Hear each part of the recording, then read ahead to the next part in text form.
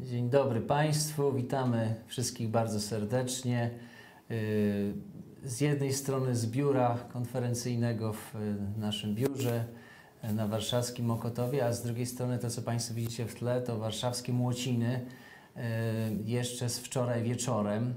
Tak jak widać, akcja COVID w pełni, częściowo już znormalizowana, częściowo nieznormalizowana, część w maseczkach, część bez maseczek. A przed Państwem e, moja skromna osoba Paweł Sobkowski, założyciel i prezes zarządu Coachwise oraz Joasia Małachowska, nasz e, nieoceniony menedżer do programów, do spraw programów e, korporacyjnych. Witamy serdecznie. Dzień dobry. No i cóż, mogę powiedzieć, że jesteśmy bardzo podekscytowani. Jeżeli Państwo będziecie to widzieli, to z góry przepraszam, bo przygotowywaliśmy się do tego prawie dwa miesiące na różny sposób. Yy, I, I, dzisiaj to jest takie zwieńczenie tych naszych przygotowań. Mamy dzisiaj w programie trzy takie główne części, o których powie za chwilkę Asia, mhm. a, ja tylko tytułem wstępu chciałem powiedzieć, że mm, ta konferencja, ona jest częścią, można powiedzieć, takiej szerszej inicjatywy HR Razem, którą zainicjowaliśmy w marcu tego roku, po to, aby pomóc środowisku HR-owemu zintegrować się w w odniesieniu do tego, co się działo dookoła nas. Za nami kilka konferencji, ta już jest czwarta, y, liczne webinaria, ale również y, uruchomienie programu mentoringowego, takiego dosyć niecodziennego, bo realizowanego w formule grupowej, mhm. Nie indywidualnie. On się nazywa HR w zmianie. No i można powiedzieć, że wyszliśmy z tą inicjatywą dlatego, że poczuwamy się do tego, aby, znaczy poczuwamy i znamy się na tym, e, w jaki sposób przeprowadzać zmiany, inicjować zmiany, przewodzić zmianom, ale też budować w związku z tym koalicję wokół zmian, pewną jednomyślność, no i w tym wszystkim, żeby być mądrym. Dlatego WISE w nazwie. Przy czym coach może być troszeczkę mylący, bo ten zakres tego, co robimy przez ostatnie lata się znacznie poszerzył, więc y, główny akcent na to WISE, czyli mądre nasze wspólne y, podejście do tego, co y, się dzieje. Ta, ta zmiana, którą, której wszyscy doświadczamy w mniejszym lub większym zakresie mm. przez ostatnie 5-6 miesięcy, to mm, pewne rzeczy, które mm, z jednej strony przyszły i odeszły, a z drugiej strony pewne rzeczy, które już wydaje się, zostają, zostaną na trwałe. Z angielskiego nazywa to się new normal, po polsku najczęściej się to tłumaczy jako nowa normalność. E, i, i takie zasadnicze pytanie, prawda, co, co zostanie z nami, e, bo pewne zmiany, których byliśmy uczestnikami jeszcze pół roku temu, one po prostu przyspieszyły i jakby się wypełniły w pewnym sensie a co być może będziemy jednak żegnali, często może nawet z przyjemnością. na przykład jakieś poczucie zagrożenia związanego z naszym mhm. zdrowiem czy, czy, czy życiem wręcz. No i na ten temat dzisiaj y, spotkanie. Idea jest taka, żeby popatrzeć w przód, y, pochylić się na przyszłością tego, jak to będzie wyglądało. Zaprosiliśmy do, do, na, na dziś, do dzisiejszej konferencji różne perspektywy, bo mamy i perspektywę HR-ową, i cyfrową, i związaną z rynkiem pracy. To w panelu i potem trzy wystąpienia e, merytoryczne, ale o tym to e, Państwu bardziej powiem. Ja już bym chętnie wysiadła z metra i e, poprosiła o pokazanie tych slajdów, które dla Państwa przygotowaliśmy. W każdym razie dla wzrokowców zawsze lepiej zacząć agendę też wizualnie, więc tak. Tak jak zawsze mamy nadzieję, że to spotkanie w takiej formie, o ile jest możliwe, było też dialogiem, dlatego zapraszamy do tego, żeby komentować. Już dziękujemy pierwszym naszym osobom, które się przywitały z nami. E, też pytania do panelistów proszę zamieszczać. Oczywiście wiadomo, że nie damy rady odpowiedzieć na wszystkie, ale postaramy się, żeby chociaż na część znalazła odpowiedź. Jeśli chodzi o agendę. E, a, przepraszam. To taki wstęp, y, znaczy w zasadzie podsumowanie tego, co, o czym już wcześniej mówiłem, czyli HR razem jako pewna platforma do współpracy dla środowiska. Cztery główne obszary działalności, z jednej strony wydarzenia, z drugiej strony edukacja, z trzeciej ten program mentoringowy, o którym wspominałem i, i, i akcje społeczne, y, które planujemy, ale też które się pojawiają jakby spontanicznie. Mhm. Trzy konferencje za nami. Pierwsza w ogóle o tym, co się dzieje wokół nas, jakie są najpilniejsze wyzwania. Drugie to zarządzanie środowiskiem obaw i zagrożenia, a trzecia to strategie związane z rozwojem pracowników, czy pewne przewidywania w zasadzie bardziej niż strategie. Tak. Ym, I tym razem y, nowa normalność. Trzy, trzy słowa na temat programu mentoringowego. W tej chwili w tym programie y, jest dostępnych 18 mentorów. To są y, głównie osoby z takich senior, czyli takich wyższych stanowisk przywódczych, menedżerskich w HR-ze, aktywnych bądź, znaczy głównie aktywnych, no, osoby, które mają no, 15, 20, 25 lat doświadczeń, wielokrotne funkcje powiedzmy w randze dyrektora personalnego. Y, W tej chwili pierwszej edycji jest 40 uczestników. Program do, jakby polega na 9 spotkaniach grupowych i spotkania się odbywają co mniej więcej dwa tygodnie. W połowie października będziemy kończyli pierwszą edycję tego programu. I no, chyba warto jest powiedzieć, że póki co naprawdę recenzje są bardzo, bardzo dobre. Ten program się wpisał y, ładnie w, mm, w potrzeby i w czas.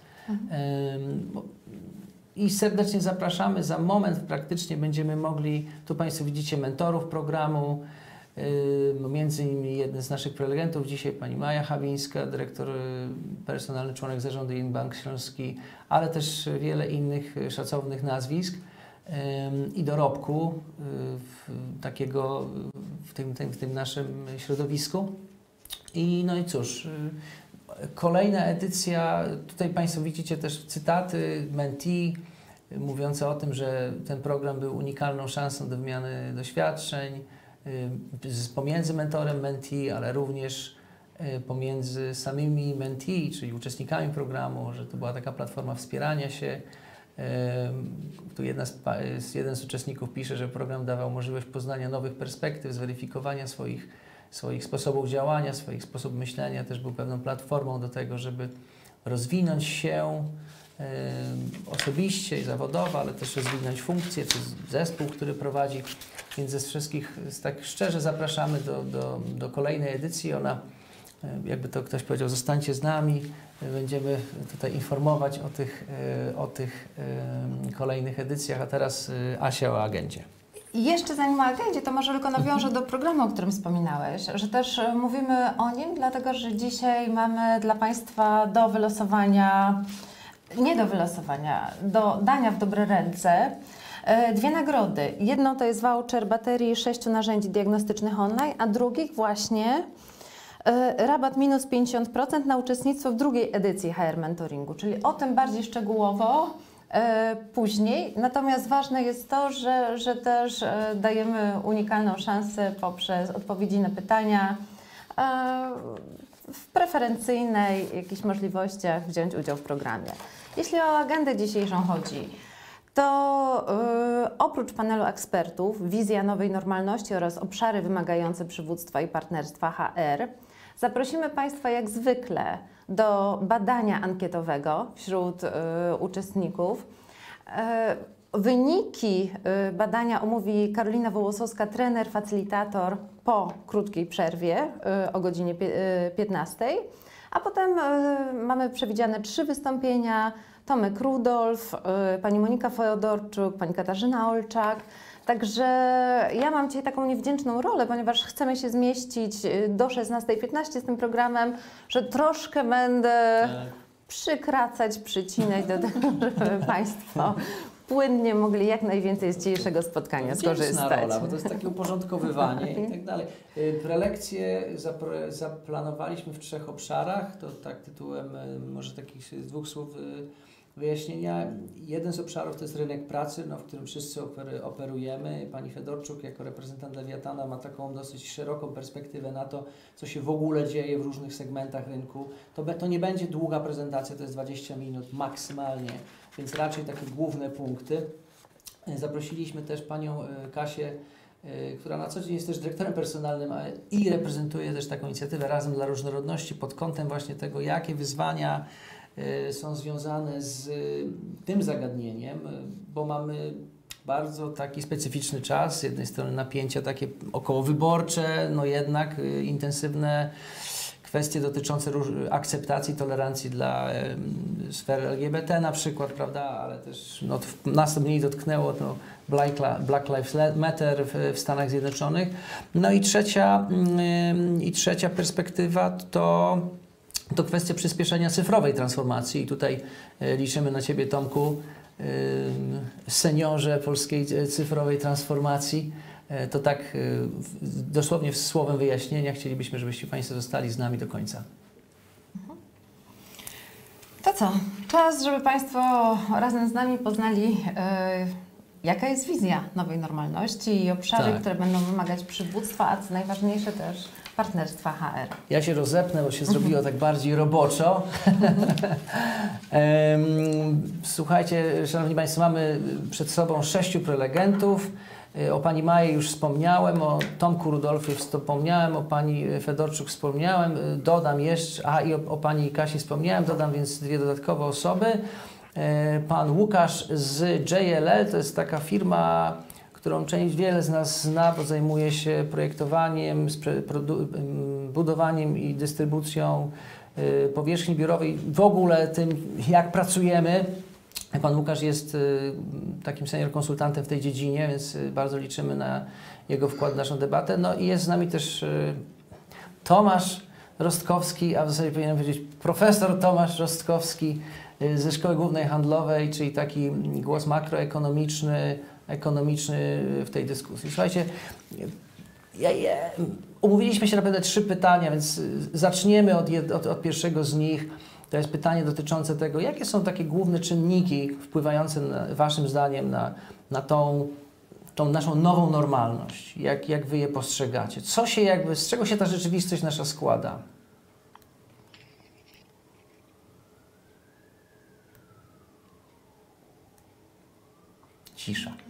To, to ja spróbuję um, przerwać tą ciszę. Może dlatego, że mam najwyższy współczynnik nieaktywowania ciszy. Pewnie tylko dlatego. Myślę, że ona najbardziej e, składa się, przynajmniej dla mnie, e, z redefinicji świata na nowo i z takiego kwestionowania wszystkiego, co braliśmy za stałe i za pewne, e, w związku z czym wszyscy szukamy odpowiedzi, jak to będzie, a myślę, że nikt z nas tej odpowiedzi nie zna.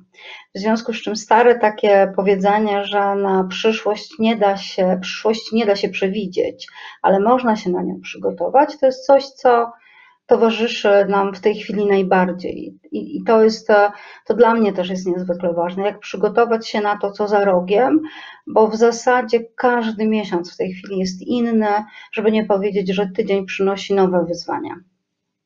Tyle ode mnie. Dzień dobry, ja bym kontynuował to, co pani Maja powiedziała. Ja tylko sprostuję, ja się nazywam Jakub Zieliński, e, nie Tom. E, więc e, tak, nie, nie, wiemy, co nas spotka w przyszłości, nie wiemy, co tak naprawdę czeka na nas za rogiem, e, ale też na jednym z webinarów taką miałem refleksję, i którą się też dzieliłem, że oczywiście możemy czekać, co nam przyniesie przyszłość i trochę biernie myśleć, co się z nami stanie, ale można też e, najzwyczajniej w świecie zacząć planować różne scenariusze tej przyszłości. E, dzięki temu będziemy gotowi prawdopodobnie na to, co się będzie działo. Oczywiście scenariusze powinny być różne, powinny brać różne e, też elementy pod uwagę. Natomiast w mojej ocenie ważne jest to, żeby zacząć myśleć, co może się wydarzyć w przyszłości i pod to planować. Jako taki króciutki przykład tylko dam e, przykład jednego z moich klientów, którzy e, bardzo podeszli odważnie do planowania swojej przestrzeni biurowej w przyszłości. Wtedy to była przyszłość. i podjęli taką odważną decyzję, że zmienią funkcję swojego biura na taki bardziej, bardziej klub społeczny, do którego ludzie będą przychodzić i tam się wiedzą, robić różne brainstormy. Jak się okazuje, bieżąca weryfikacja przez COVID z powodu, pokazuje, że oni mieli wtedy rację i prawdopodobnie będziemy szli w tym kierunku, że nasze środowiska pracy, miejsca pracy będziemy traktowali jako coś, gdzie my chcemy spotykać się z innymi osobami, bo jak się okazuje, biura do tego są nam potrzebne, aby, aby spotykać się z innymi, spotykać się z kolegami, koleżankami. Można powiedzieć, ten trend związany z tym, że miejsce pracy jest bardziej takim jakimś hubem, nie, nie wiem jak to po polsku nazwać, hub, takie miejscem spotkań, pan powiedział, takim y, miejscem społecznym, prawda, a, a, a nie biurkiem z, z, wyznaczonym na sztywno miejscem i tak dalej, i tak dalej. Mi się bardzo ta nazwa klub spodobała. Klub społeczny. Klub społeczny, no właśnie. Um, dziękuję bardzo. Ja nawiązując jeszcze do wypowiedzi Państwa, wydaje mi się e, to, co mówiła Pani Dyrektor i to, co potem Pan Jakub podniósł, że w tej chwili takim dominującym czynnikiem, który kształtuje naszą rzeczywistość, to jest niepewność. To znaczy niepewność co, co do e, dalszego rozwoju sytuacji. I tak jak mówiła Pani Dyrektor, e, że na przyszłość można się przygotować, to chyba na tą nadchodzącą przyszłość, tak jak u nas w Lewiatanie rozmawiamy z firmami, E, o tyle się ciężko przygotować, że e, dotychczasowe prognozy nie zawsze się sprawdziły, a nie zawsze mamy dane, które pozwalają, że tak powiem, snuć wiarygodne prognozy na przyszłość. I to jest chyba taki czas, kiedy wiele firm, ale też wiele osób, które przewodzi, robi, no tak jak kiedyś się robiło, prawda, trzy scenariusze. Jeden taki, no, najbardziej najbardziej możliwe do zrealizowania i dwa na wszelki wypadek.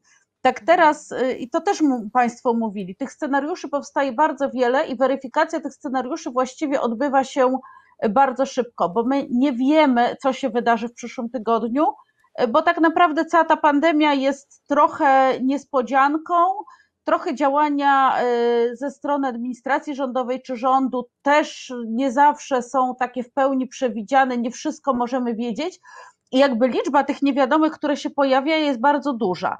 A więc y, jakiekolwiek ruchy takie długoterminowe, no to albo wymagają bardzo dużej elastyczności, albo nadludzkich umiejętności przewidywania. To może ja, ja bym może dodał. Okej, okay, to proszę bardzo. Właśnie nałożyliśmy, ale to tak szybciutko. E, ja jestem praktykiem generalnie biznesu. Siedzę akurat teraz w pokoju syna, więc bardzo przepraszam za background, ale wyrzucono mnie z biblioteki dzisiaj. Dla mnie dzisiejsza rzeczywistość i kilka ostatnich miesięcy to jest najlepszy trening e, zwinności, tak? tego co się nazywa agile i e, o czym dużo firm E, i liderów ostatnio mówiło, do czego się przygotowywało. Często e, powoli się trenowało w całej teorii i praktyce agile, a dzisiaj tak naprawdę widzimy, że no, ta zwinność e, po prostu daje nam przeżyć kolejny dzień, tydzień i miesiąc. Bez niej no, generalnie nie możemy funkcjonować i jest to absolutnie najlepszy trening przywództwa, o jakim E, w dziale HR-ach moglibyśmy sobie zamarzyć. Oczywiście e, niestety on nie jest fajny i ma wiele też e, wad, natomiast no, ma też zalety. Dzisiaj liderzy zobaczyli, że komfort zarządzania znikł, działamy w absolutnej niepewności i, i uczymy się na co dzień. Wyszliśmy ze strefy komfortu, trzeba ponownie zakasać rękawy i, i ruszać naprzód, nie patrzeć w tył tak bardzo. Okej, okay, ja właśnie już zakasałem rękawy, to, to może adwocem w takim razie. E, ja, ja, mi się to bardzo kojarzy z e, tą analogią między korporacjami a startupami, którą często się używa. E, korporacje jednak są stworzone do skalowania czegoś przewidywalnego, natomiast startupy do eksploracji jakichś nieodkrytych obszarów z ogromnym polem niepewności. I to, co, co myślę było dla wszystkich szokujące, to jak wiele z takich rzeczy, które przyjmowaliśmy jako pewnik w tym naszym życiu, przeszło do takiego właśnie pola eksploracji, trzeba coś na nowo wymyślić. To, to o czym mówiliście. Dla mnie, jeśli chodzi o siły, o które pytałeś, Pawle, e, osobiście e, to jest z jednej strony e, oczywiste przyspieszenie technologiczne, czy edukacji, czy medycyny i wielu innych obszarów, i myślę, że to jest taki tipping point, taki przełomowy punkt w adopcji pewnych technologii w obszarach, w których, e, czy to ze względu na opór konsumentów, czy klientów, czy samych, nie wiem, lekarzy, czy, czy jakby wewnętrzny opór e, branż, e, pewne innowacje nie wchodziły. Teraz, teraz myślę, to, to po prostu wiele osób musiało spróbować i zobaczyło, że że się tak da. Tak było chociażby pewnie z tą słynną zdalną pracą, gdzie wielu prezesów czy, czy zarządy były oporne i uważały, nie wiem, czy zaufać tym pracownikom, czy oni w ogóle będą pracować, a, a niektórzy z nich sami się przekonali, że to, to, to może działać, więc, więc to, to na pewno ta technologiczna zmiana jest ważna. A, a druga rzecz, która, która mnie uderzyła, to e, taka większa świadomość chyba tego, jak my dzisiaj jesteśmy ze sobą powiązani globalnie, międzynarodowo e, i to w jakiś łańcuch ale też po prostu życiowo, politycznie, biznesowo E, I jak wielka jest też rola Azji, którą my być może tutaj w, w, Polsce, patrząc na Europę Zachodnią i Stany jako takie główne punkty odniesienia, e, tej Azji niekoniecznie aż tak dobrze widzimy. Tutaj ten, ten wirus gdzieś tam się z Azji do nas e, przywlókł i jednocześnie myślazuje, jak w Azji wiele się dzieje, też technologicznie, jeśli chodzi o innowacje, o, o, a jak Stany, na które tak patrzymy, niekoniecznie zdają tutaj egzamin w tych procesach, czy, czy, czy chociażby w tym kryzysie. I w tym świecie, w którym ja jestem, czyli w świecie innowacji korporacyjnych, w startupy chociażby, Azja i Chiny już przeskoczyły Stany niedawno. I, myślę, że będziemy też e, wkrótce świadkami w wielu branżach większego, większej roli Azji ogólnie w naszym życiu. E, nie tylko e, tych przykładów, nie wiem, harwardzkich, hollywoodzkich, że tak powiem, które, które znamy. Hmm, to bardzo ciekawa, bardzo ciekawa perspektywa. Dziękuję Ci, Tomek. Ta Azja, no można by powiedzieć tak, pół roku temu byliśmy zaskoczeni Azją. Pytanie, w przyszłym tygodniu możemy być zaskoczeni Afryką przerysowuję to, albo Antarktydą, nie? Jakby, wiesz, no może nagle z lodu wyskoczyć nam coś, tak? I, i będziemy się dziwić, jakby. E, to bardzo ciekawe. Dziękuję Ci bardzo. Ja myślę sobie tak, że bardzo chętnie bym się zgodził co do tego, że jest bardzo trudno przewidzieć, co będzie pojutrze. Natomiast zdecydowanie łatwo jest przewidzieć, y, co się będzie działo w nieco dłuższym okresie, dlatego że przyszłość nie służy do tego, żeby ją przewidywać, tylko przyszłość służy do tego, by ją zbudować. W związku z powyższym, tak odpowiadając na pytanie, jakby, co to właściwie jest ta nowa normalność, no to dobrze by się było zastanowić, czym była stara normalność, bo ona miała wszystkie cechy nienormalności. Począwszy od tego, że ludzie byli przymuszani do tego, żeby pracować w godzinach 9-17, a w administracji publicznej od 8 do 16, powiedzmy w korporacjach od 9 do zwycięstwa, a nie od 9 do 17, e, co było spowodowane wielką potrzebą oglądania współpracowników na żywo, dlatego że oglądanie współpracowników na żywo jest najważniejszą rzeczą w bardzo wielu organizacjach. Kolejną funkcją normalności było to, że mieliśmy opiekę zdrowotną nad pracownikami, zgodnie z którą, jakby to dobrze powiedzieć, no, to było beznadziejne po prostu i to nie ma się co oszukiwać. Znaczy, najgorzej zaopiekowani ludzie w Polsce pod względem zdrowia to byli ci, którzy pracują, chociaż mieli powykupywane abonamenty, co tylko gorzej dla nich, e, a medycyna pracy niemal upadła całkowicie, dlatego że właściwie każdy tu mógł dostać takie zaświadczenie, że jest zdolny do pracy, nawet jeśli nie był. W każdym razie wiele tego rodzaju przypadków miało miejsce. Co do zasady ludzie podróżowali z domu do pracy i z pracy do, do domu, realizowali całą masę rozmaitych zbędnych podróży służbowych, jeździli nie wiadomo po co i nie wiadomo dlaczego, na co zużywali połowę połowę czasu swojego życia, a wszystko to jeszcze wśród apeli HR-owców o to, żeby zachować równowagę praca-domu. Więc umówmy się, że na szczęście przytrafił nam się COVID, który bardzo wiele organizacji wyleczył z myślenia, powiedziałbym, mocno starożytnego. W związku z powyższym być może ta nowa normalność to jest ta normalność, która była wymyślana na samym początku nowożytnego HR-u, czyli gdzieś w Polsce to miało miejsce na przełomie lat 60. i 70. zapewne. Ja też jestem praktykiem. Ja pierwszy raz pojawiłem się w kadrach 43 lata temu jako bardzo młody pomocnik do spraw stemplowania dokumentów i te dokumenty nadal są, czyli jest trochę tak, że mamy pewne e, trendy, którym robiliśmy absolutnie wszystko, żeby się im broń Boże nie poddać. Jednym z nich jest cyfryzacja, innym z nich jest indywidualizacja, trzecim z nich jest wreszcie przejście od siły roboczej, która jest od wykonywania poleceń w kierunku kapitału ludzkiego, który jest od myślenia i tak dalej, i tak dalej.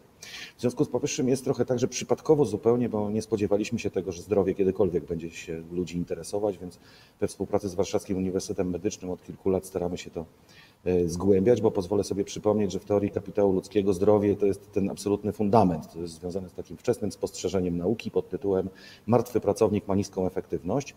E, I myśmy tak hobbystycznie zgłębiali, zupełnie nie przypuszczając, że ktokolwiek się tym e, zainteresuje. Mm, no bo mm, po, co to komu? E, w każdym razie jeszcze do niedawna tak się wydawało. Natomiast no, tak czy inaczej śledziliśmy pewne dobre praktyki związane z wdrażaniem jakichś narzędzi typu digital HR, że po co te kwity, po co to oglądanie, nie wiem, jakieś oceny okresowe w Excelu, jakieś no, te, tego rodzaju, powiedziałem, starożytności.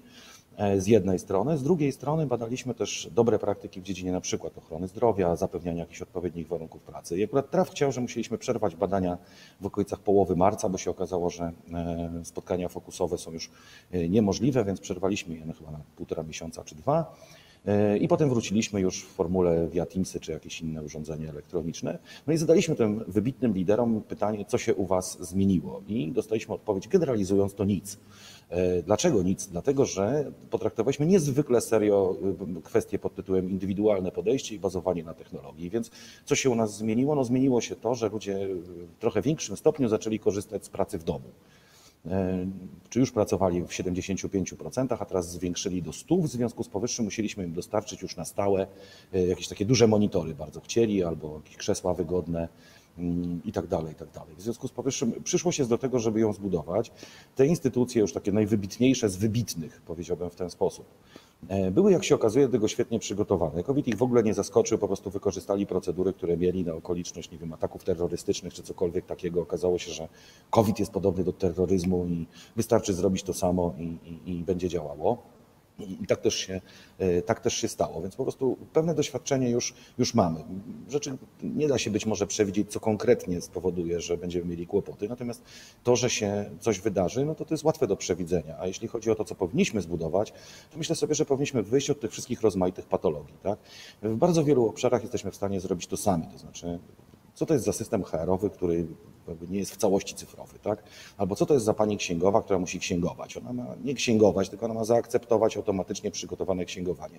Tego typu mądrości były dostępne w literaturze przedmiotów z zakresu zarządzania pod koniec lat 60., gdzie wprost enumeratywnie były wymieniane rzeczy, które mają podlegać automatyzacji, to jeszcze nawet niezwłocznych, więc być może należy wrócić trochę do tych być może zapomnianych, podstawowych całkowicie lektur i zobaczyć, co wtedy miało się wydarzać, bo to jest po prostu coś takiego, co mamy 50 lat Przypomnę tylko, że wtedy były y, komputery z NRD i doświadczenia z Czechosłowacji, więc to aż takie starożytności są i bardzo długo wstrzymywaliśmy nadejście nowej normalności, a teraz być może COVID nam to, nam to wyzwoli. Natomiast wracając do tej naszej praktyki, czy mojej praktyki HR-owej, no to jest bardzo ważne pytanie, jak, dużo jeszcze w HR-ach mamy do czynienia z dokumentami, czyli jak dużo teczek personalnych, w skrócie mówiąc, ma swoją niecyfrową postać i co zamierzamy z tym zrobić. No bo tak długo, jak będziemy korzystać... E, co, co dla Ciebie jest jakimś symptomem, e, symptomem, tak jak mierzenie temperatury, tak?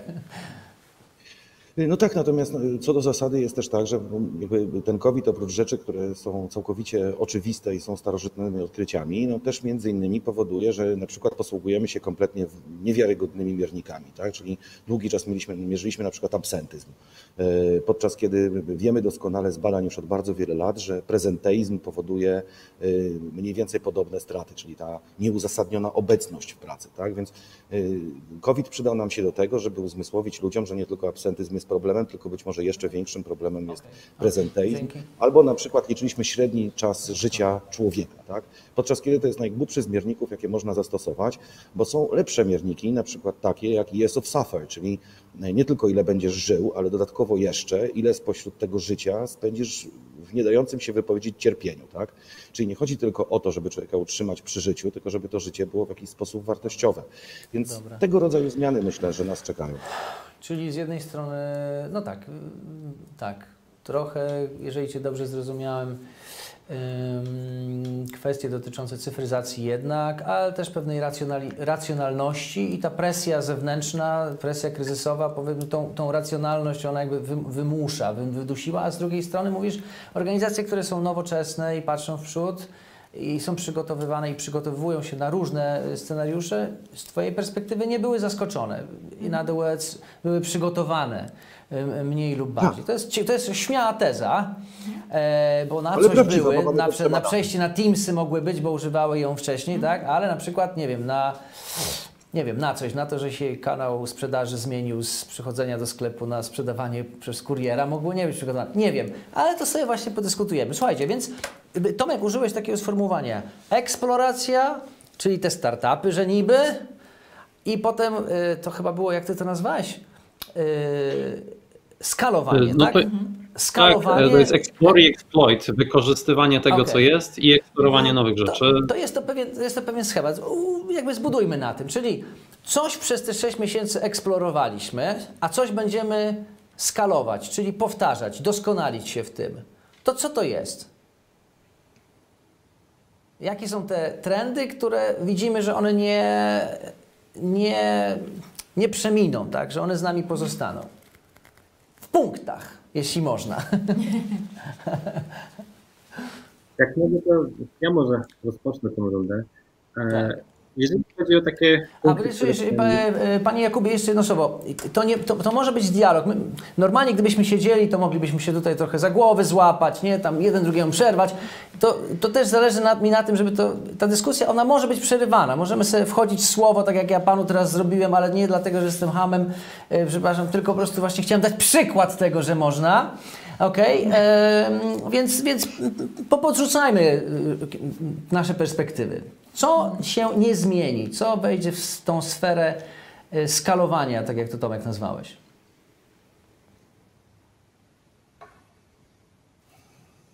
No i wybiłeś. Nie, pan Jakub po prostu nagle zamarł. O, już jest pan z powrotem. Ja nagle zobaczyłem duże przyspieszenie. Więc to, co bym sobie życzył, żeby e, pozostało w tej sferze eksplorowania, e, to na pewno poszukiwanie nowych narzędzi, nowych rozwiązań do bardziej efektywnej pracy na co dzień. To, co się wydarzyło przez ostatnie pół roku, e, gdzie, tak jak e, było już wspomniane, nagle nie można było prowadzić grup fokusowych. Trzeba było znaleźć nowe, ciekawe, interaktywne narzędzia, żeby, żeby to przeprowadzać. To jest jedna, myślę, że z fajnych rzeczy, która została, ten taki głód innowacji wśród ludzi, nie tylko wśród tych innowatorów, czy, czy osoby, które bardzo szybko chcą poznać te E, nowe technologie, ale wśród wszystkich ludzi po to, żeby efektywnie e, prowadzić to, co, co robią na co dzień. I może na razie zrobię taką, e, taki stop i z chęcią bym puścił tą naszą rundę dalej, żeby też poznać inne perspektywy. No dobra, to w takim razie Pan powiedział takie troszeczkę, to było życzeniowe, że życzyłbym sobie, żeby. A, a pytanie było trochę inne, Panie Jakubie. Co wiemy, co Pan przewiduje, że będziemy skalowali? Czy na przykład Pan przewiduje, że to, że biura były puste i część z nich do dzisiaj jest puste, to jest, do, ja teraz przykładowo mówię, tak, to będzie, to już zostanie. Albo, tak to, tak że na przykład Mordor przestanie istnieć, bo wszyscy będziemy mieć mordorzy, mordory Wawrze, Bemowie, Ursynowie i to będą mikromordory, bo jak będą za duże, to będą stwarzały, za, no nie wiem, no jakieś takie historie. Pana teza, proszę bardzo. To jest, to jest jedna z teorii, że powstaną tak zwane e, huby i kluby, e, do których się będzie jeździło, czyli huby rozproszone, czy to w mieście, czy to w okolicach miast, miejsca, gdzie można popracować. To jest jedna z rzeczy, które jest pewną teorią, że to może powstawać w dużych ośrodkach miejskich, takie, takich jak chociażby Warszawa. E, to, co na pewno będzie skalowane, to może to, o czym też wcześniej mówiłem, czyli ten mimo wszystko głód innowacji i to pozostanie z nami na dłużej, w to wierzę. Natomiast coś, co na 100% zostanie z nami na dłużej, no to są nasze modele hybrydowe, czyli trochę połączenie pracy z domu, z pracą w biurze, z pracą gdziekolwiek, może z miejscowości wakacyjnych chociażby. Okay. Natomiast y, to, co będzie z nami zostawało, to łączenie, bo jest duża presja społeczna wśród pracowników, żeby w jakimś stopniu utrzymać e, obecny stan, ale z drugiej strony jest też presja pracodawców, którzy e, chcą tworzyć miejsce pracy, które będzie budowało kulturę i wspólnotę wśród pracowników. Więc to wszystko na koniec dnia gdzieś będzie musiało zostać zważone i odpowiednio wykreowane. I to jest dyskusja, która z nami, myślę, zostanie przez najbliższe półtora, jak nie dwa lata, jak odpowiednio wyważyć ten trend. Okej, dziękuję. Ja bym chciał stanowczo podbić to wszystko, idąc troszkę e, uniwersalizując zjawisko. Wśród świętych słów w HR-ach są, jest słowo indywidualizacja. W związku z powyższym jeden będzie chciał pracować z domu, drugi będzie chciał pracować z Filipin, trzeci z autobusu, czwarty z biura, a wreszcie piąty będzie chciał mieć te wszystkie możliwości. Z jakichś przyczyn jeszcze na te one się będą zmieniać, bo wystarczy, że się komuś urodzi drugie dziecko i już się zmieni cała logistyka domowa i tak dalej, i tak dalej. Czyli e, generalizując, indywidualizacja jest właśnie tym, co musimy robić, a żeby być w stanie to robić, to musimy poznać opinię nie pracowników rozumianych jako 5% e, powiedziało to, a 8% to, tylko stworzyć im pewne różnego rodzaju możliwości na wzór rozwiązań kafeteryjnych, które to rozwiązania genialnie sprawdziły się w COVID. Nie trzeba było zmieniać nic, czyli pracownicy mając pewną kafeterię możliwości po prostu natychmiastowo przestawali wybierać rozwiązania A, zaczęli wybierać rozwiązania B, a ponieważ była otwartość w organizacji, to jeszcze poprosili o to, żeby im to uzupełnić o rozwiązanie Z, Z i alfa. I, mm, I to jest coś takiego, więc y, zdecydowanie jest tak, że, że w tym w jakimś tam obszarze to już było widoczne dużo wcześniej. To znaczy, dlaczego ludzie mają pracować gdzie indziej niż wszędzie, gdzie tylko chcą. Super, dzięki Tomek. Indywidualizacja i elastyczność w, no, elastyczność w różnych y, elementach, z których się buduje rozwiązania. Mhm. Ale ja chciałam, Szanowni Państwo, jeszcze powiedzieć, y, że sam COVID spowodował jedną rzecz, o której tu jeszcze nie padło. E, w polskim prawie po raz pierwszy pojawiła się praca zdalna. Wcześniej mieliśmy telepracę obudowaną e, różnymi e, uwarunkowaniami. Pracodawca musiał sprawdzić, czy pracownik ma odpowiednie warunki dostarczyć, i nagle w ciągu dwóch tygodni tak, okazało się, że pół Polski może pracować zdalnie i jest to możliwe. Natomiast to, co ja widzę ze swojej perspektywy, to że jeżeli chodzi o skalowanie, to to skalowanie będzie dotyczyło pracy zdalnej. E, będą się pojawiały stopniowo obudowy do tego, co zostało wrzucone do przepisów. Będziemy mieli takie elementy jak e, ekwiwalent za zużyty prąd, będziemy, e, coraz częściej mówi się o pewnym raportowaniu wyników i oczywiście no, e, tak, raportowaniu wyników, sprawdzaniu dostępności pracownika. I to jest trochę tak, że z jednej strony wizja, którą nakreślił pan profesor, jest mi bliska, to znaczy pracowniku, jesteś dorosłym, odpowiedzialnym człowiekiem, powierzam ci zadania, a ty zorganizuj sobie to tak, żebyś umiał je, żebyś umiał je wykonać i żył normalnie, ale z drugiej strony też widzę e, taką tendencję, że po pierwszym takim e, trochę wymuszonym e, zachwytem pracy nad pracą zdalną pojawiają się wersje OK, OK, już sobie pracownicy popracowaliście, ale teraz zobaczmy, jak to działa, sprawdzajmy, jak to działa, oceńmy, jak to działa. Więc ja bym widziała, że tutaj jednak będą pewne, e, pewne działania, które nie wiem, czy normalizują, czy regulują, czy doprecyzowują. Znaczy, chcesz pracowniku pracować na Filipinach w porządku, ale najpierw zgłoś ten fakt przez system HR-owy. Natomiast y, obszar, który będzie moim zdaniem eksploracyjny, to szanowni Państwo, szeroko rozumiany e, obszar edukacji. To, co mieliśmy przed COVID-em, e, wyglądało mniej więcej tak: był plan szkoleń, lepszy, gorszy, na takiej czy innej podstawie. Ktoś miał mentoring, ktoś miał szkolenia. E, tu żeśmy się spotkali, tam żeśmy posiedzieli, może żeśmy wyjechali.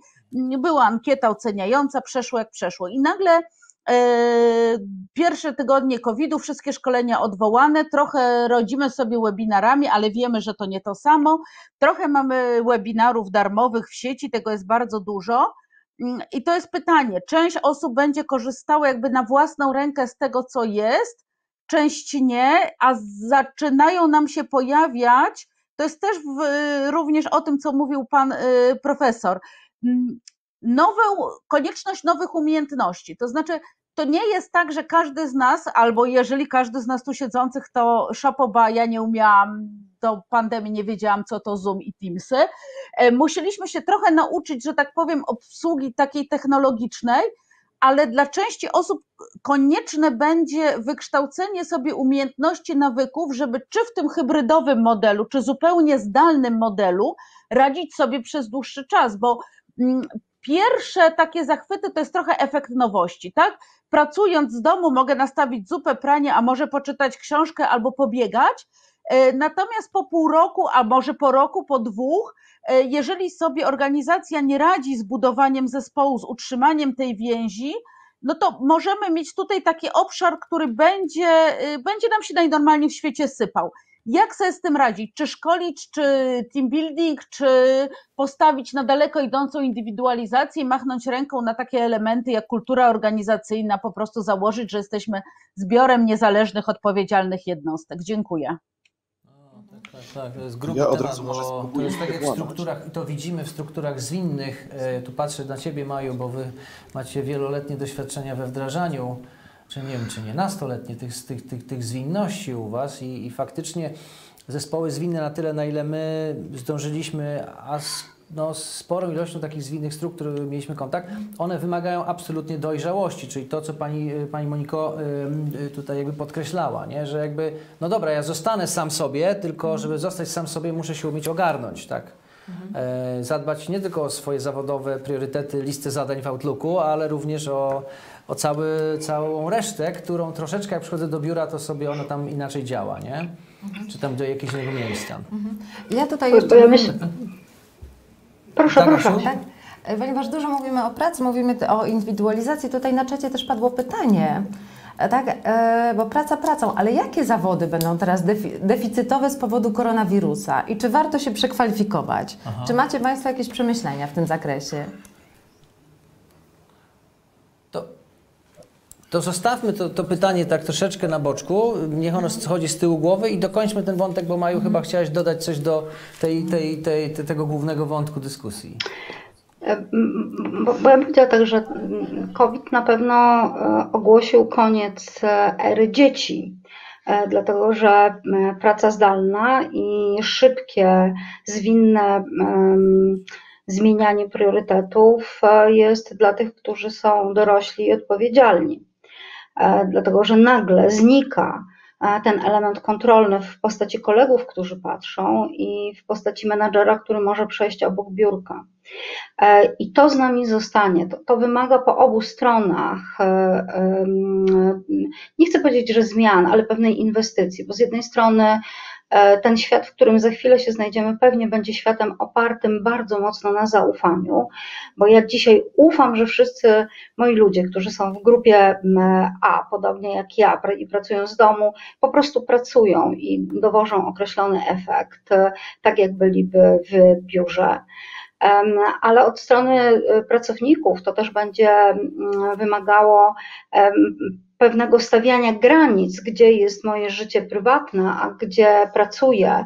E, być może to będą te wywieszane kartki na drzwiach, teraz pracuję, proszę nie przeszkadzać, ale e, z tym, że ja od razu powiem, praca z domu nie jest dla każdego i wymaga określonych e, umiejętności. Więc dla mnie to, co będzie, nad czym będziemy pracować, to jest to odpowiedzialność i zaufanie. Na pewno będzie też stoi przed nami takie wyzwanie, co zrobić w organizacjach, które nie są wyłącznie organizacjami pracowników wiedzy albo pracowników, którzy mogą pracować zdalnie, bo nagle jednolite do tej pory mm, organizmy, w których wszyscy przychodzili do biura jako do miejsca świadczenia pracy, czy do innego miejsca, w którym się pracę świadczyło, e, zostają podzieleni, bo jedni muszą nadal przychodzić do tego miejsca, bo są takie funkcje, e, których nie da się e, przenieść do świata wirtualnego, jeszcze być może. A pozostali pracują w domu i to rodzi pewne napięcia. Więc myślę, że to, co przed organizacjami, to jest e, redefinicja tego, na czym będą opierać budowę kultury organizacyjnej, bo jeśli kultura była opierana bardzo silno, silnie na obecności, wspólnocie, bliskiej współpracy, to teraz jest czas, e, kiedy trzeba poszukać trochę innych narzędzi. Myślę, że to też jest e, taki moment, w którym będziemy e, testować inną funkcję działu HR E, bo to, to, już nie jest, to, to już nie jest taki HR, jaki znamy i o którym można przeczytać e, w książkach, bo innymi rzeczami się e, zajmujemy. Ten pierwszy etap COVID-u to był etap myślenia o zdrowiu, o bezpieczeństwie, o tym, jak zaopiekować się dziećmi pracowników. To jest taki wątek, którego my wcześniej w HR nie dotykaliśmy. Był taki wątek bardzo mocny jak zadbać o to, żeby nasi pracownicy byli fit, ale nie dając im abonament, e, tylko przy tej pracy zdalnej, przede wszystkim co się dzieje, żeby oni nie zapomnieli myśleć o sobie. To, I to jest trochę co innego niż taki klasyczny program well-beingowy, który um, mieliśmy. E, większa jest też rola pewnie i to dla HR-u zadania, żeby e, testować nowe formy i zadawać sobie pytanie, czy to, co mieliśmy, ma jeszcze sens. Jak atrakcyjnym benefitem jest e, owocowy poniedziałek i piłkarzyki, skoro coraz mniej ludzi będzie z tego korzystać. Mm, I to, jest, to, to są dla mnie takie, takie obszary tego testowania. I ja się zgadzam. Myśleli o przyszłości wcześniej, są wygrani, e, bo nie, nie, myślę, że nie powinniśmy tego wątku nie doceniać. Przejście na pracę zdalną to są gigantyczne inwestycje w sprzęt i w infrastrukturę. E, my szczęśliwie reprezentujemy pewnie duże organizacje i organizacje, w których e, e, ludzie są dobrze wyposażeni, ale dla niektórych przedsiębiorstw jest to też bariera, przed którą stają, bo żeby przejść na pracę zdalną, to oznacza, że wszyscy mają laptopy, wszyscy mają telefony, ale też infrastruktura dostępowa działa. I to tak krótkoterminowo, nad czym będziemy pracować, no to, to jeśli ktoś tego nie zrobił, to jest ten moment, w którym e, trzeba to zrobić. I ja sobie nie wyobrażam e, takiej sytuacji, e, że któryś dział HR nie ogarnął podpisu kwalifikowanego i nie przeszedł tam, gdzie to jest możliwe, to trzeba zwrócić uwagę, że polskie prawo nadal pewne rzeczy wymaga na papierze i ładnie podpisane i ostemplowane, ale to, to jest, jak ktoś tego nie zrobił, to jest moment, w którym trzeba to robić natychmiast. Super. E, od razu mi ja się skojarzyło, e, po, ponieważ ja tylko muszę być, e, Asia jest, znaczy oboje jesteśmy trochę, pilnujemy czasu, mamy jakieś, znaczy już jesteśmy po czasie, ale, ale mamy jeszcze, dajmy sobie jeszcze chwilę, nie wiem, jakieś takie 5-7 minut na te główne wątki. Ja bardzo Ci dziękuję, Maju, za to, co powiedziałaś. Przypomniała mi się niedawna wiadomość z rynku brytyjskiego, gdzie Tesco zadeklarowało, że zatrudniło 16 tysięcy nowych pracowników Dlaczego? Dlatego, że mieli kanał e, online sprzedaży dobrze zorganizowany i cała, cały łańcuch logistyczny. Teraz pytanie, prawda, czy mały sklepik, czy mniejsza sieć będzie miała zasoby, żeby w kontekście tych inwestycji, które mówisz, żeby w ogóle wejść w, na przykład stworzyć kanał e, dotarcia do klienta cyfrowego, mhm. czy, czy cyfrowo, na poziomie i świadomości swojej, i know-how, i też pieniędzy, prawda? Bo jak nie, no to te potencjalnie więksi, po prostu mając te pieniądze na inwestycje i mając z tego y, wyższą stopę zwrotu, będą tutaj to, ten rynek wygrywali. Nie? To jest bardzo ciekawe. Pozostałe osoby, te trendy, które z nami zostają, to coś, co będzie już nie tylko eksplorowane, ale również skalowane. W czym się będziemy doskonalić? Ja bym dodał e, takie trzy rzeczy. Po pierwsze, automatyzację, która będzie dotyczyła e, jakby self-serwisów i wiele rzeczy, które będziemy mogli robić sami, zdalnie. Nie wiem, teraz e, pracujemy chociażby nad, z jednym z partnerów nad samoobsługowymi sklepami i inne, in, i różne inne tego typu mechanizmy, które mają uniezależnić biznes od tej nieprzewidywalności związanej z chorobami ludzi lub z wyłączaniem pewnych, pewnych procesów produkcyjnych czy innych z w, tak, w takich sytuacjach, czyli automatyzacja. Druga to jest autonomia, właśnie to, o czym mówiliśmy, o tej dojrzałości e, i tej samodzielności pracowników, która, która jest sporym, myślę, wyzwaniem, jeśli chodzi o dojrzałość menadżerów, którzy muszą klarowniej, e, Zalencionim tutaj idąc pewnie e, swoje oczekiwania e, nazywać, a nie tylko liczyć, że pańskie oko konia tuczy i że pracownicy, na których będę patrzył, coś tam będą robić, nie? tak żeby można było potem też rozliczać. Myślę, że wiele firm nie ma jakichś okijarów lub celów zbyt dynamicznie, sensownie ustalanych i rozliczanych i niekoniecznie ludzie wiedzą, co jest najważniejsze i niekoniecznie ludzie wiedzą, co robią ci wszyscy pracownicy e, w biurze, na których możemy tylko popatrzeć. A jak zespół jest rozproszony, no ta potrzeba koordynacji, uwspólniania e, priorytetów i celów i projektów jest, jest myślę nowym wyzwaniem. I trzecia rzecz, która moim zdaniem zostanie, e, dla mnie to było szokujące trochę, jak dużo my się o sobie na, na dowiedzieliśmy e, w, poprzez te webinary, widząc swoje mieszkania, których czasem w ogóle nie widzieliśmy swoich pracowników i tej sfery ich życia i, i powiedziałbym, że zostanie z nami jakaś tam autentyczność. My jednak przychodząc do tych biur zakładaliśmy pewne garnitury, maski i tak dalej, a teraz zrzucając te maski na rzecz maseczek, e, jakby trochę bardziej musimy brać właśnie pod uwagę e, nasze dzieci, nasze życie i tak dalej i myślę, że menadżerowie i ogólnie widzimy nawzajem w organizacjach więcej tego ludzkiego, ludzkiej twarzy na, naszych pracowników i współpracowników, i mam nadzieję, że to jakoś zostanie i się przełoży na taką bardziej ludzką stronę zarządzania. Super.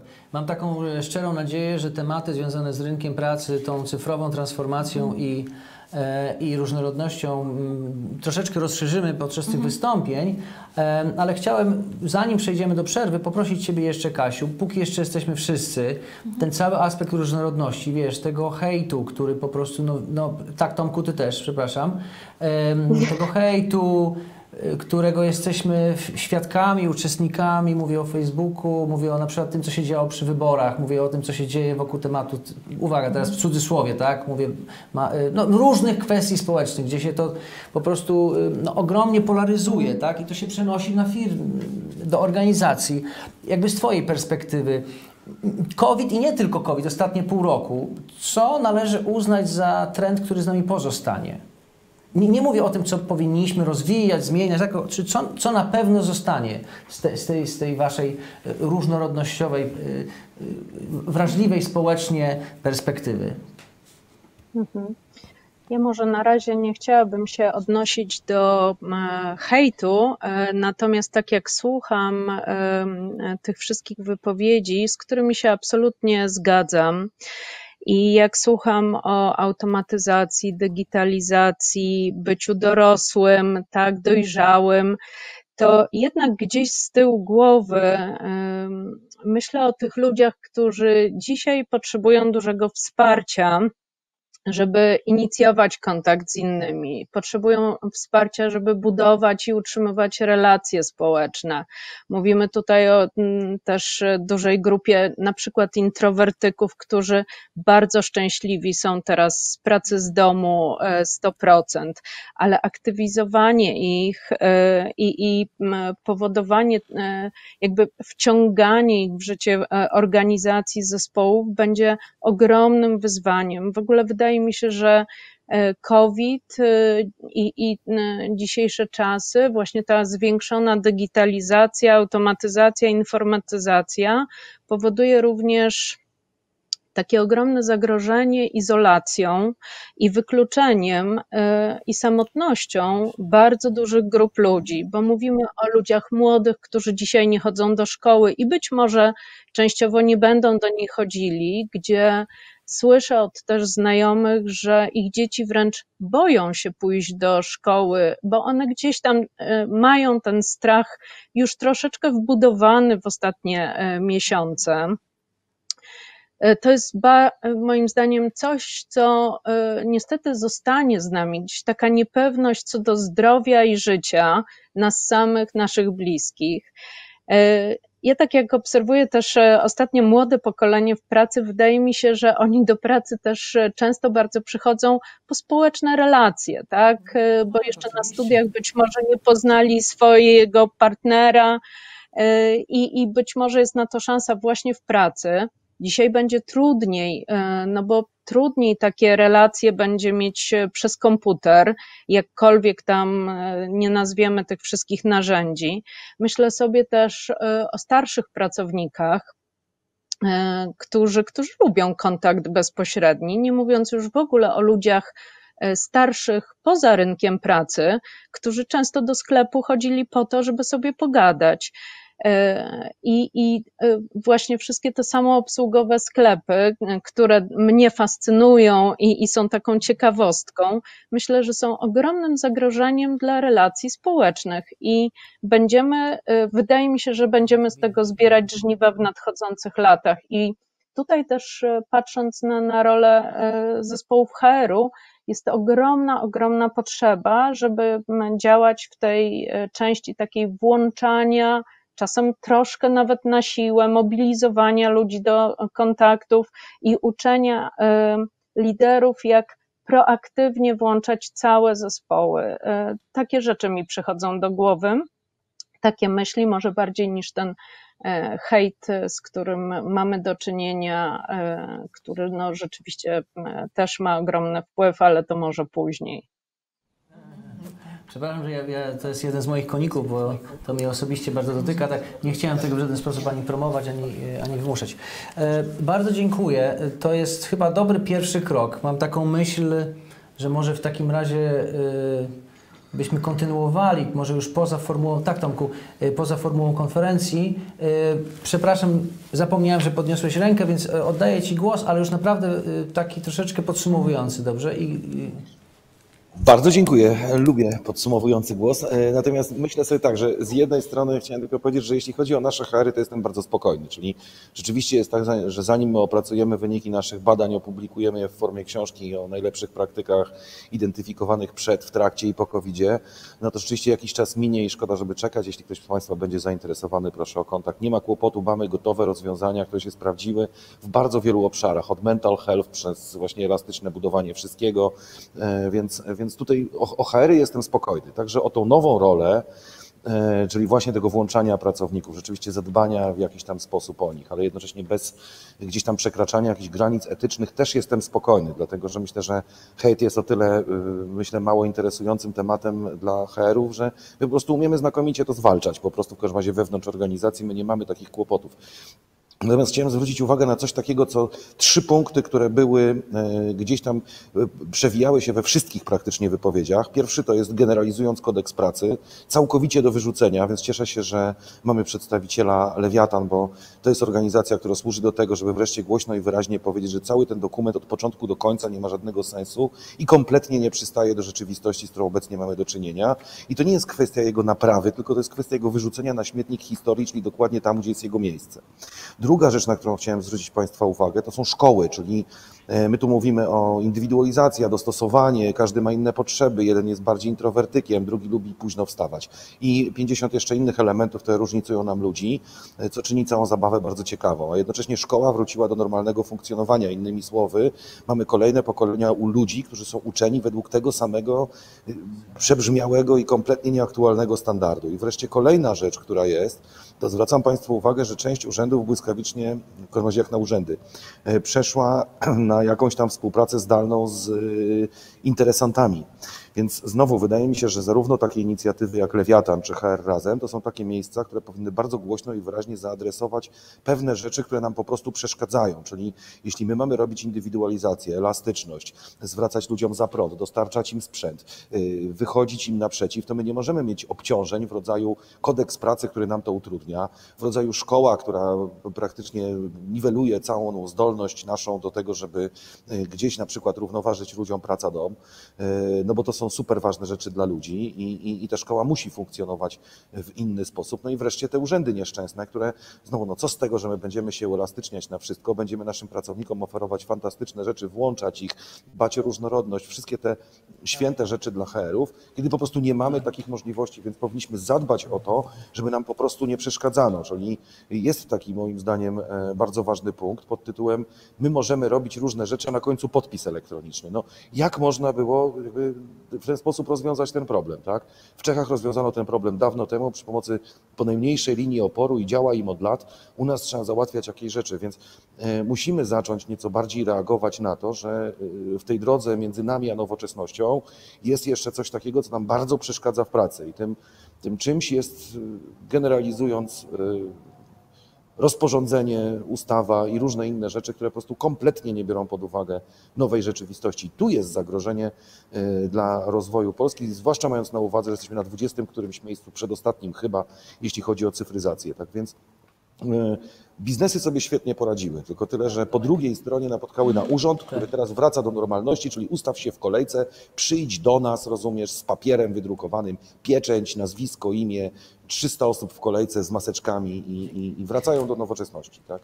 Dziękuję Ci bardzo. To jest bardzo ciekawy głos profesora SGH, który między innymi mówi, po co to państwo? Państwo nam trochę przeszkadza, nie? Ale właśnie po to tutaj jesteś. Słuchajcie, bardzo Wam dziękuję. Teraz bardzo dziękujemy za to, że pojawiły się tak różne e, aspekty e, COVID-u i, i wspierające normalność i takie budzące trochę zagrożenie. Niestety nie zdążyliśmy odpowiedzieć na pytania, które się pojawiły na czacie, ale być może e, w kolejnych wystąpieniach Tomek, Pani Monika, Pani Katarzyna odniosą się czy do nowych zawodów, czy do tego, jak budować zaangażowanie w takich rozproszonych zespołach, czy też zagrożenia, o których już też Pani Katarzyna wspomniała. E, teraz e, chcieliśmy zaprosić na 10-minutową przerwę, ale też e, zachęcić do udziału w badaniu, ponieważ wspominaliśmy o tym, jakie mogą być różne zagrożenia i, i, różne wyzwania państwa związane z nową normalnością. Prelegenci pojawili, podzielili się swoimi spostrzeżeniami, a też nas bardzo interesuje, kto jest na sali, kto jest wśród naszych słuchaczy, z czym Wy się mierzycie, bo być może jeśli też zaznaczycie e, pewne rzeczy, do nich w większym stopniu też będą się mogli odnosić prelegenci w drugiej części. W związku z tym zapraszamy na 10-minutową przerwę, zapraszamy do wypełnienia ankiety. Wypełnienie zajmuje jedną minutę, ponieważ jest to króciusieńkie, a da to materiał potem do dalszej dyskusji. E, ankieta będzie zamknięta po 5 minutach, czyli mamy do 15.10 wypełnianie, potem 15.15 .15 spotykamy się ponownie. Gdzie jest link do ankiety? Na czacie. Zapraszamy na czat i na 10 minut przerwy. Witamy po przerwie. I łączymy się z Karoliną Wołosowską, facylitatorem, coachem, która podzieli się Państwa odpowiedziami, refleksjami po badaniu. Halo, halo, dzień dobry. Mam nadzieję, że mnie słychać. Tak. A, witaj, tak, czyli słychać, tak. E, witam Państwa bardzo serdecznie. Z wielką przyjemnością podzielę się refleksjami, które tutaj zebraliśmy w opinii. E, jakie są kluczowe, aktualne wyzwania związane z nową normalnością? I profesor Tomasz Rostowski powiedział dzisiaj coś takiego, że Przyszłość, przyszłość służy po to, żeby ją budować i żeby móc budować tę przyszłość, a nie ją przewidywać, to potrzebujemy zrozumieć, jakie są właśnie aktualne kluczowe wyzwania związane z nową normalnością. Potrzebujemy je zaakceptować i dopiero wtedy możemy coś z tym zrobić. I nie ukrywam, że ten materiał jest bardzo dobrym przykładem tego, co my potrzebujemy zrozumieć, co potrzebujemy zaakceptować e, i potem podjąć właściwe działania. I drodzy Państwo, poproszę e, obsługę techniczną o udostępnienie slajdu. Nie wiem, czy on jest tutaj będzie dla Was dobrze widoczny, ale ja postaram się też krótko zreferować, co, co zyskało, że tak powiem, to miejsce na pudle, tak? Czyli jest tej naszej pierwszej e, trójce. No i drodzy Państwo, to, co będzie z pewnością wyzwaniem, e, co jest aktualnie wyzwaniem i, i w przyszłości możemy się z tym mierzyć, to na pewno komunikacja i współpraca w zespole rozproszonym. I jakbyśmy mieli wrócić do poprzednich naszych badań, które wykonywaliśmy na naszych konferencjach HR razem, to w wielu aspektach wyzwań z COVID-em również ta komunikacja i współpraca w zespole rozproszonym się pojawiła. Czyli możemy wysnuć taki wniosek, że ona była, jest dla nas aktualnie wyzwaniem i należy się tym obszarem też zająć. Kolejną rzeczą, kolejnym aspektem to jest wspieranie pracowników w radzeniu sobie z izolacją i stresem. E, to jest taki e, element, o którym też dzisiaj tutaj e, wielu z naszych ekspertów wspominało. I jakbyśmy mieli dalej pójść, to, to trzecią rzeczą, która według Państwa jest najbardziej istotna, to zdecydowanie wdrażanie zmian organizacyjnych w firmie. Jest to jedno z kluczowych wyzwań związanych z nową normalnością. To, co też zasłużyło na Państwa dużą uwagę, wśród e, innych obszarów to wspieranie pracowników w adaptacji do zmian w organizacji, czy motywacja i zaangażowanie pracowników w zmianie, jak również e, szkolenia i rozwój pracowników online, czy wdrażanie innowacyjnych narzędzi HR-owych w odpowiedzi na zmieniającą się rzeczywistość.